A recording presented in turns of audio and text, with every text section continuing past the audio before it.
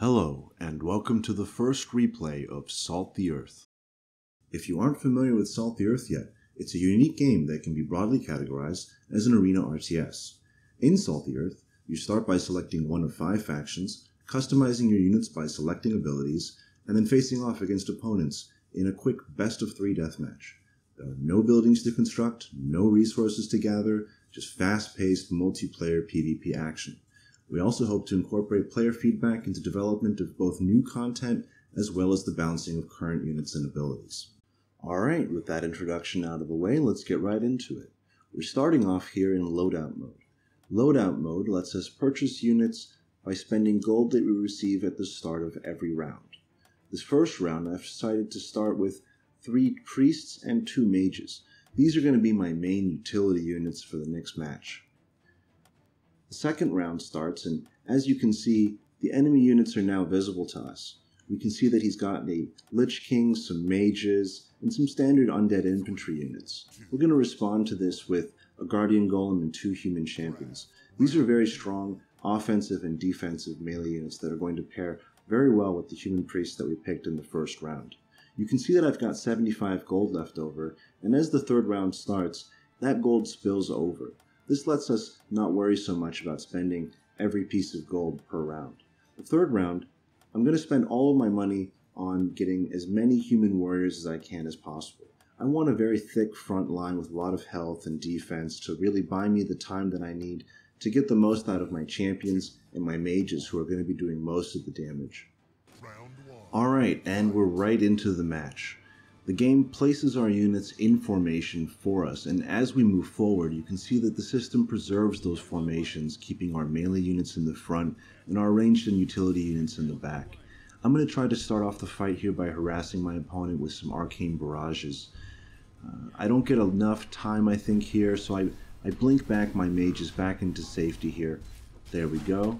And you can see that I've been caught towards the bottom here. My warriors, they're just kind of standing there, and I I wasn't ready for that. I didn't expect my opponent to wrap around that center island there. I pull my priests back to get them in position to heal, and you can see that my mages in the back are stuck fighting this warrior.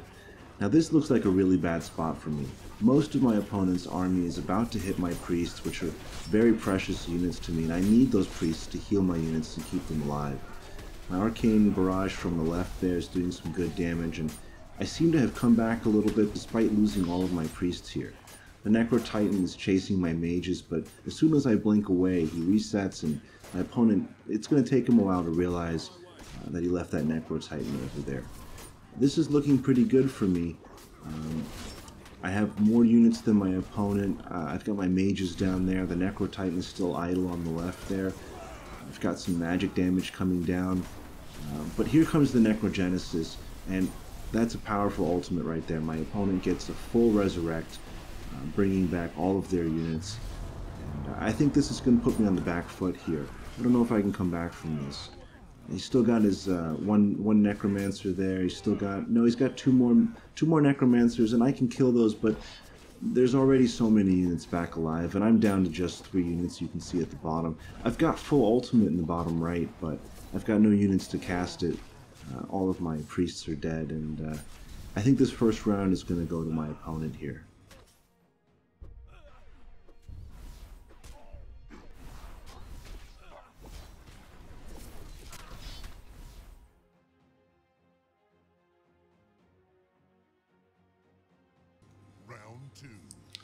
Alright, and here we are in the second round. You can see that there's some visual bugs left over from the first round. This game is still in beta, and it's not perfect, although I'm very happy with where it is. It looks like my opponent is coming from an engagement from the south. Uh, I, I, like this engagement. It's just wide enough for my formation, and I think I can really hold this choke point here. Uh, this is the kind of straight-on engagement that I just really want when I'm playing humans. I've got my mages already channeling Arcane Barrage. I pulled my, my priests back, they're healing. Everything looks to be in a good spot. You can see there's some health missing, but everything's looking pretty good. Um, now, here I'm going to cast my triple Holy Wrath and really get some AoE damage down on these undead units. I'm going to blink my mages forward, and by combining the Arcane Barrage from both mages, I'm able to get one of those Necromancers down pretty quick. And that's going to reduce the amount of units my opponent can resurrect. That's a big win for me. I'm already at full ultimate here, so I'm going to use my ultimate, a Seal's Wrath, right here, and look at the damage. It's just going to take down that Lich King and that Necro Titan very quickly. It looks like that's going to be it for the second round. Just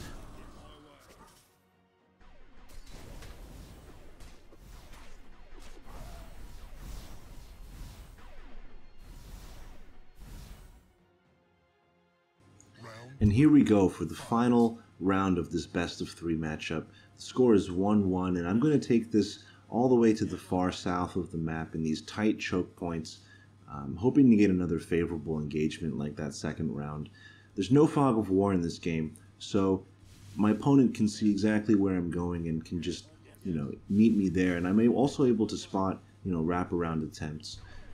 My attempt to poke here with the mages doesn't go quite as well, so I, I take the rest of my units and I just pull forward straight into the engagement.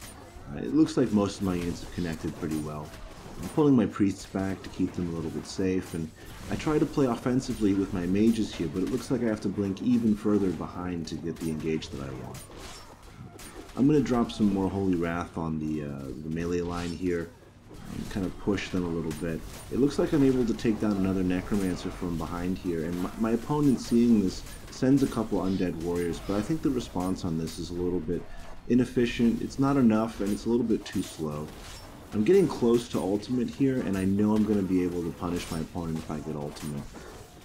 It looks like the Lich King is about to go down, yep, and that leaves my opponent with just a handful of units, no units left to resurrect. Aseel's Wrath is just really melting that Necro Titan, and that's going to be it for the third round.